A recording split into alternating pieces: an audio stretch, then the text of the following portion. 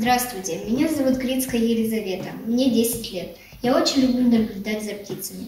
Однажды я увидела за окном синичку. Она сидела на ветке, нахохлившись и смотрела на меня своими маленькими черными глазками. Она хотела есть. Мы развесили кусочки сала, насыпали зерен а, и, и, и а, налили теплой воды. Э, на следующий день она прилетела со своими друзьями. Они стали вместе э, клевать зерна и запивать э, теплой водой. Я, я очень была обрадована, что они прилетели снова. И вот я нарисовала этих синичек. У меня есть рисунки, гуаши, акварели. И я вышила вышивку и разучила на баяне пьесу, которая тоже называется «Синичка». Мне очень э, понравились эти птички.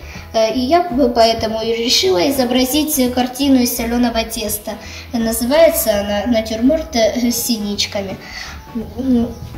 Рецепт соленого теста прост. Мука, соль, вода э, и э, э, клей ПВА. В древности э, э, фигурки из соленого теста дарились на праздники в качестве э, сувениров и, и оберегов.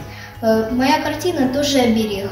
Она оберегает мою семью от болезней, э, а красный цвет дает моей семье здоровье, счастье и красоту.